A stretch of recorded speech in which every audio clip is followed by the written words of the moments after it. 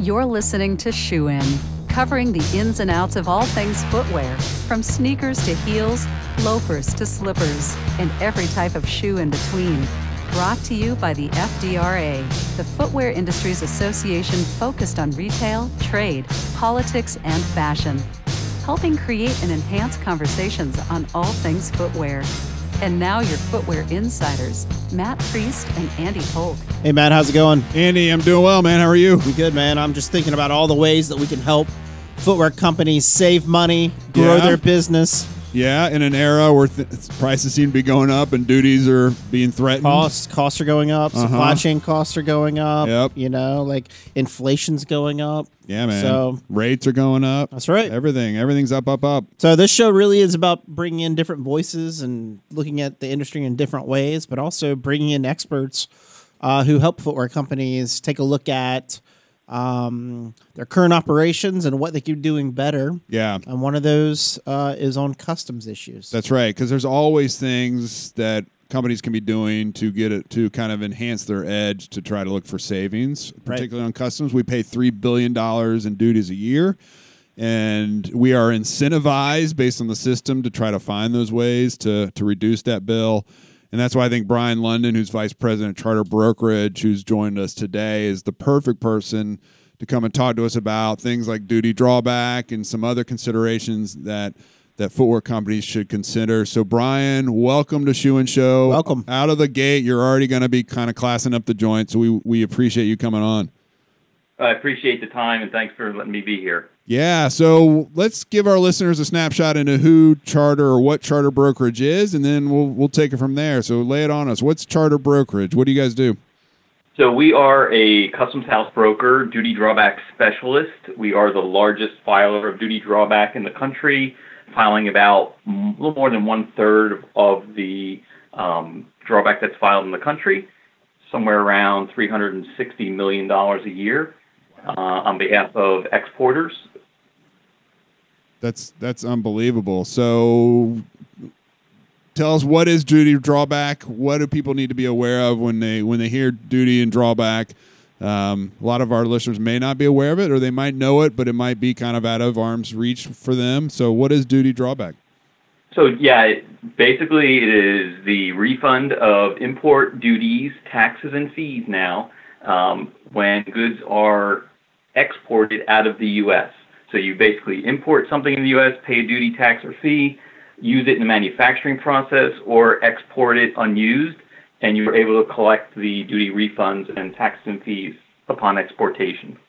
So if you're doing that and you're capturing $360 million in savings back for your clients, um, walk us through maybe a couple case studies, a couple examples of different type of types of products and where they land and, and then what are you doing, you know, kind of what's the mechanics of such an uh, such a transaction on the import coming in and then the export going out. Uh, how does that all work? Sure. So uh, for one footwear client, uh, we're bringing goods in from overseas. Um, basically, they are um, just repackaging or quality assurance in Portland and then exporting out of um, the U.S. We keep an inventory of the import transactions and on a commercial invoice level detail, and then we marry up that to export transactions as well. So certain cases where um, there may be some more detailed nuances to get into where you're exporting to Canada and or Mexico uh, NAFTA um, countries or U.S. Mexico Canada um, countries based on whatever we're going to call NAFTA going forward. Um, there's a little more uh, documentation required. We'll uh, collect information on the entry of goods into both Mexico and or Canada as well to prove export. Drawback in general, um, customs looks upon proof of export as one of the um, cornerstones of um, proof of being able to claim drawback. Drawback is an export incentive program in the U.S. and it's been around since 1789. Holy cow! Like right at right at the start, George Right Washington start. was doing duty drawback. Constitution, then duty drawback. One, then And if you two. dra- right. Now, is that product being brought into DCs, um, distribution centers? What's the typical kind of landing spot here in the U.S. before it gets exported out? Yeah, it could be to a distribution center, or there actually could be um, raw material coming in and, it, and it's being further processed and manufactured. Um, the key legal phrase, uh, the differentiating between um, unused and manufacturing drawback would be substantial transformation of um, the imported item into another product. And typically there is a uh, tariff shift as well. So the tariff numbers, the HTS numbers would change, and that would sig- uh, signify a manufacturing duty drawback versus an unused duty drawback. So there could be either a manufacturing plant or a distribution center coming in and then being exported from there. That's pretty interesting, Matt, because I mean, when we think about like strategies that people have, yeah, in some instances, you would think, okay, if I sell a lot of shoes in Brazil, I should just have it imported directly to Brazil. But actually, importing into the U.S. allows you more flexibility to shift your inventory around internally or, or surgical strike it somewhere specific, drop ship it somewhere. Right. Um, but the idea of having it closer to you for quality assurance, knowing that your shoes don't have issues where if you land somewhere and you don't have the ability to clean the mold off or you right. don't you or, or it's not what you wanted and you got someone local doesn't understand you know what you're trying to do with your brand and the aesthetics and things like that if it's a little bit off right if you have it closer to you you can do that so through this program you can import it in keep an eye on it, use it where you want to, and then if you have to export it, you can use folks like Charter to apply for that that uh, that duty drawback when Right. you do export it. Yeah. Are, to that point, are you guys seeing an increase in the use of duty drawback? Is there has there been an uptick across? Are there trend lines upwards uh, when it comes to folks utilizing duty drawback here in the U.S.? Yeah, it's certainly uh, very visually on the radar more now uh, with the advent of the 301s and 232 proclamations from Yep. the president. Um, folks looking a way to defer or um, get a refund of those uh, of those duties. Uh, so our we're very busy. Uh, at the same time, there's a new drawback law that's coming um, to fruition finally. Um, it goes it was been in, in effect since 2016 but without regulations. And the federal government um, is now mandated to put those regulations out by uh, the CIT by December 17th so there was a court case pushing them to do this. Um, so currently uh, companies really need to think about collecting data and doing a full analysis of which drawback law would really apply. We're certainly in a little window of time where you could file either on the current law or on the new law. And I can talk about some of the differences between the current law and the new law as well. Yeah, um, yeah. Why don't you go for it? And then I had a, a question for you as it relates to de minimis and ecom and how all these things interact with duty drawback. Yeah, sure. So the major differences between um, the old law and the new law, the old law, you're basically comparing part number to part number, SKU to SKU. The new law, we're comparing now the 8 or 10 digit tariff code level, working off of the 7501, the commercial entry, the line of the commercial entry, as opposed to a commercial invoice level detail.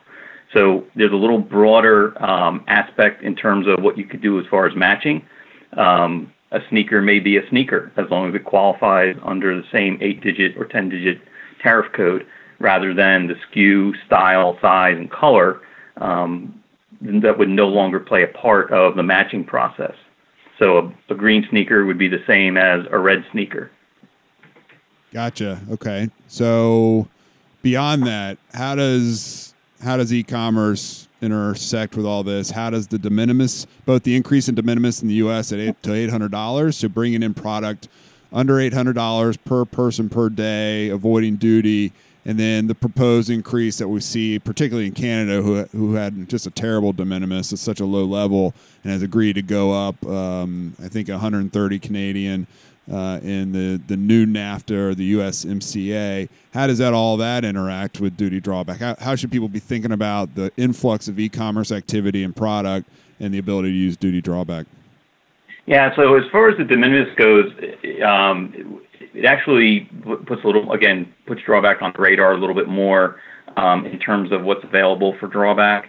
The e-commerce world in general typically has issues of proof of export, and where typically there's a bill of lading and a commercial invoice The e-com world is usually dealing with a smaller parcel shipment and a proof of delivery, and will typically go after the proofs of delivery um, from the carriers um, at, at, that level, and that will typically satisfy customs proof of export concerns.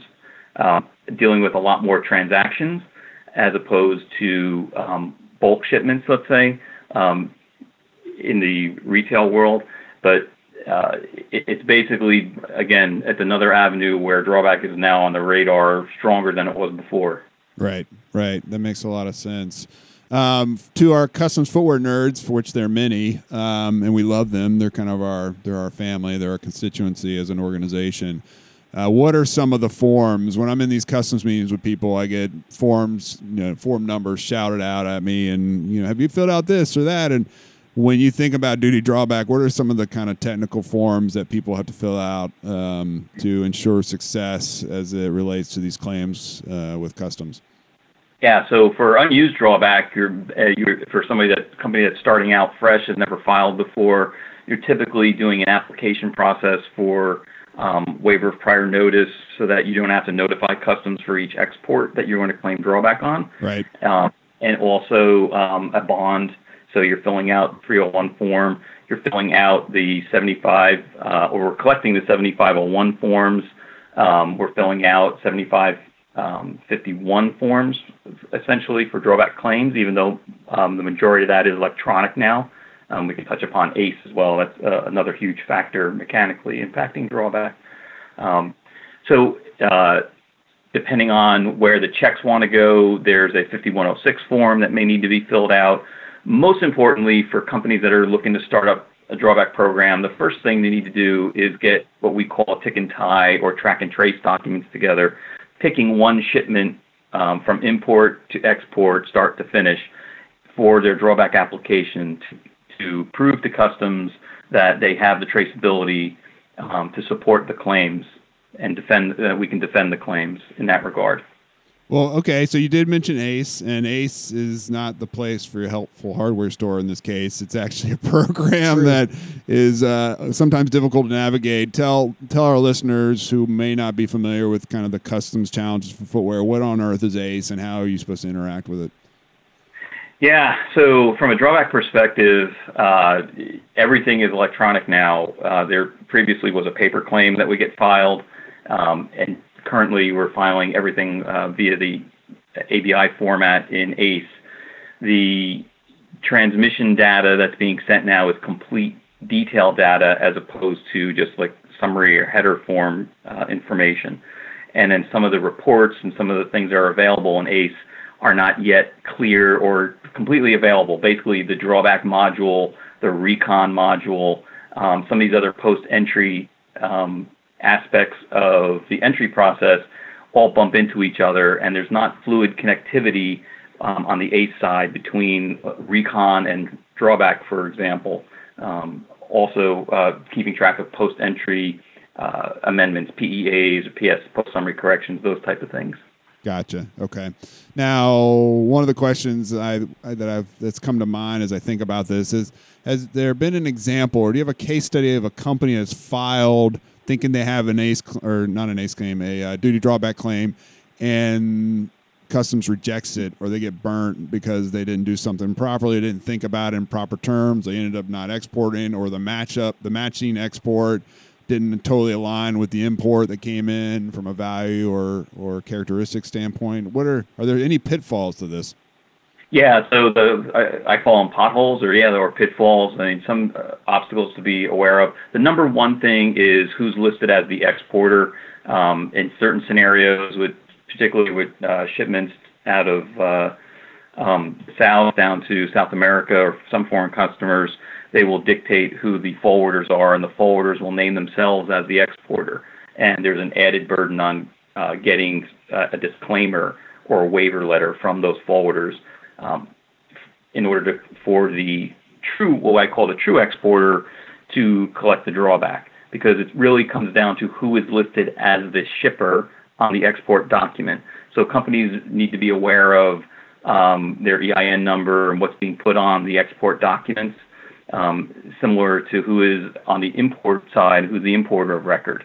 um, there's some pitfalls there where sometimes the carriers name themselves as the importer, um, and that we have to take an added step um, to make sure that that's that's clean and we get a uh, again show transfer of title or receiving to show that there was fluid movement and that the claimant, the drawback claimant, actually did um, own the goods at one point in time. Have you seen a lot of enforcement as it relates to you know auditing duty drawback claims? Has customs been, you know, we think about a lot, particularly with the, with the Trump administration, kind of a increased or enhanced focus on enforcement across all the different channels for customs. Is there is there any concern on an enforcement in in here or getting audited? What are some of the the uh, dynamics in that regard? Yeah, you can definitely uh, expect to get what they call a desk review on your first drawback claim that you file, and basically there'll be a statistical sampling. If you have uh, 100 transactions on that drawback file, they may ask for uh, five different examples of the transactions. Show me five proofs of export, show me five import entries that you match to those proof of exports, and show me the documents. So even though we're still, it's 2018 and we're still in a, um, a document-based prove it, prove your work, as I used to right. always describe. You know, it's like high school math. You, exactly. you no shortcuts. No shortcuts. Long You've division. Show your, yep, yep. Long division. You got you got to show your work and and show how you basically um, trace the goods from start to finish. Yeah, no, that makes a lot of sense. Now, is the duty drawback program is it something that needs to be authorized every so often, or is it a permanent law that so many of the things that we do right now have some kind of expiration, or it's getting torn up by the administration? Uh, what's the regulatory authority that duty drawback has, and does it have staying power? Yeah, it does have staying power. Again, it's been there since 1789. I remember uh, in forgot, the 90s. I forgot about that. Never mind. Right? Scratch that question. I, I, no, I mean, I remember in the 90s, it, it basically, uh, we would hear things like, there's not going to be any more drawback, duties are going away, uh, that type of thing. But, it, you know, it's, it still persists. And you, again, with this administration, with their proclamations, it's on the radar more than ever. Now, is there a, a public record for the very first duty drawback claim? What was the item and where was it exported to? Any clue on that? Probably came from. It was a tea from England. Wooden teeth. Yeah, it may have been. It may have been uh, some farm, some farm goods. Some farm goods, I would think. Uh-huh. Um, I do know that you know some some of the more bizarre things. Um, you know what what signifies an export, and when when companies think about this, sales to the military are actually treated as an export for drawback. Ah. Uh, things that are consumed out on cruise ships or airplanes, whether it's fuel or um, food or alcohol, that's all um, an export for drawback. Um, something that gets shot into space, like a satellite, uh, that's something that's actually an export.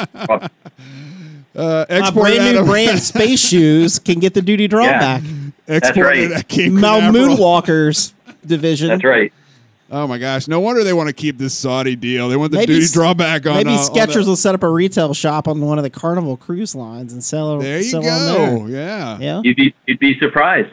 that is man. There's so many different ways you can approach that. That's actually a really interesting part about duty drawback. Interesting. I'm gonna get a boat and start selling shoes. I'm just gonna drive people Offshore? out so they can buy it offshore and then like ferry the them back in. That's right. right? Like That's a right. casino in Mississippi. We could we could get a Carnival cruise line and retrofit all the Duty-free different. thi- shoes. It could all be shoe retail, and just drive it out there for three hours and then drive it back. You're just ba- it's basically like um, and- As long as it's consumed or used out on the water or, or overseas. Yep. well we can we can have them do like uh, aerobic exercises or something after they buy them, right? They, They can scuff them they up. they scuff can, 'em up, Yeah, they can scuff them up a bit, but uh, it's We've done some work. yeah. We've actually done some work where there's some u- where uh, you know some uniforms um, and again some shoes or um, boots sold to the military. We're looking at that. Uh-huh. There's def- definite opportunity there, as, as uh, silly as it might sound. Is that does that mean like the the PX where they where the military guys can purchase on base? Is that is that what we're talking about? We're talking about that, and we're actually talking about direct sales to the military right. themselves. Okay. Yep.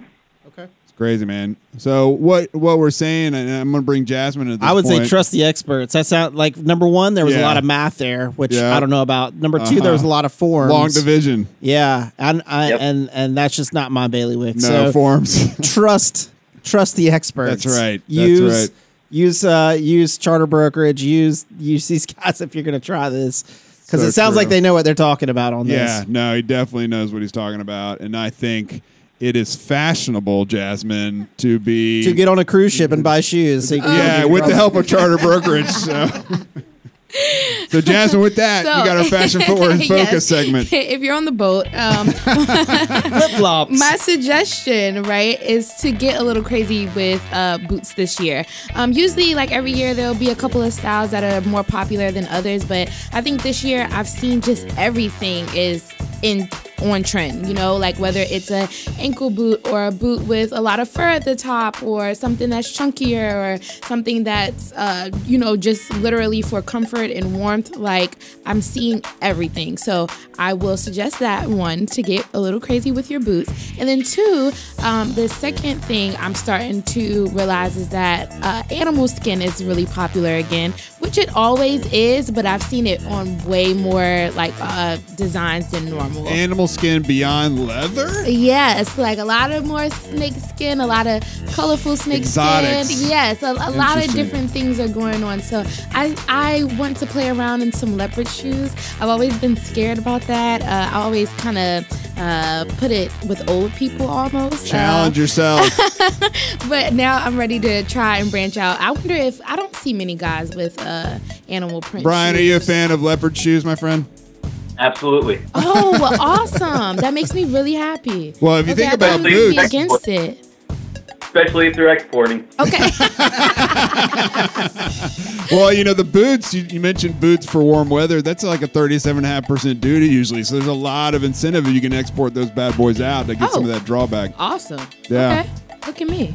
Look All at you. That works. You got your uh, you got your uh, leopard uh, boots coming your way, Jasmine. But yeah, that's what's on trend. That's what I'm loving right now. Get crazy with your boots. Try some animal skin. Dig So, it. Yeah. And PETA, please don't protest you and shit. Uh, fakes, fo- fox. Yeah. No. Fox? no, Faux? Fox, Fo- Faux, faux, faux. what does the fox say, Fo? No, Foxes faux fur. don't don't use me for No, footwear. faux fur, faux uh, skin, all that. No, All right. no real animals cool. being used. Sustainable. Yes, please. Awesome. Well, Brian, can't thank you enough for Yeah. un- unwrapping this for us because it is complex, but it is. There's money to be had. Money to be had. Money on the table, and, and Charter helps people find that money and, and pocket it for other things, right? Yeah, absolutely. Make it easier to do. Cool. Well, with that, Brian, we want to thank you again. Oh. To our listeners, shoeinshow.com is a great place to hit us up to see what's coming up next and, and to download archived episodes. You can also s- find us on LinkedIn. We also tweet sometimes, Facebook, and go to so Yeah. many different portals. Make sure you stay FDR.org. tuned for our shoe cruise where we'll go out and sell shoes and on, on the ocean waters. We'll you get know? working on that. So, with that, for Andy and for Jasmine, this is Shoe In, and we are out. Shoe In has been brought to you by the FDRA, the Footwear Industries Association focused on retail, trade, politics, and fashion, helping create and enhance conversations on all things footwear.